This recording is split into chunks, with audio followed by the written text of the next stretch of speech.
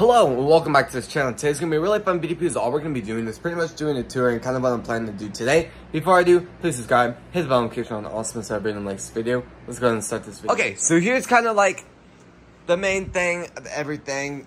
Pretty much we're gonna be kind of checking out some of the lessons, seeing if some needs to be, or if just it's ready to be picked.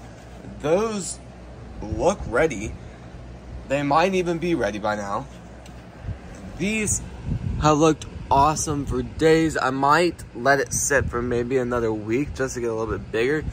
Then I'll probably pick it. Now, for the spinach, it is still growing really slowly. But, how, if to everyone kind of watching this video that has some experience growing spinach in the grow room, should I give it more light, like put it on this rack where it has just a lot more growing area? Should I water it more? Should I water it less? What do you guys think? I'd love to hear from you guys. And uh, yeah, so uh, over here we got a ton of uh, buttercrunch lettuce. I might move this eventually and just kind of turn on the pots to just let the leaves just get more comfortable and I'll probably water it a little bit more. Um, then down here we got uh, just kind of lettuce mix. Probably not the best solution for container wise on growing the stuff. It just hasn't seemed to do great, but that's still fine. We got different, we got just more spinach up here, but we planted this at a different time.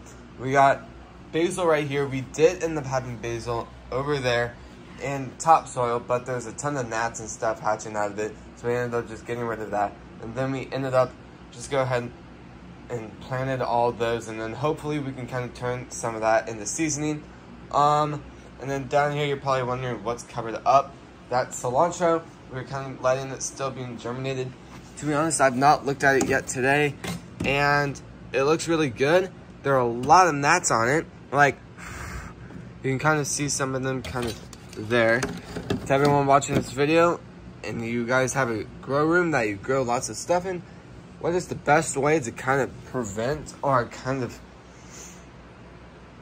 get rid of the gnats? Uh, we've had a lot of problems with just gnats in the room ever since like summer kind of started. So I'd love to hear what you guys have to say about that. And uh, yeah, then we're going to go ahead and go over to the hydroponic systems. There's a lot happening over here from a lot of these plants just not making it anymore. Like these don't look great. The roots don't look even, the roots look even worse. Um, what's kind of funny is the basil just, I don't even know how the basil's surviving still. It's done great for a long time and the roots look extremely healthy on some of the plants. Yeah, that doesn't look very good. Um, that's not making it. That's not making it. No way that's making it. That's not, and pretty much all of them are going to make it except that really good one right there. Maybe this good one, it looks better, but to be honest, it looks like pretty much just really bad.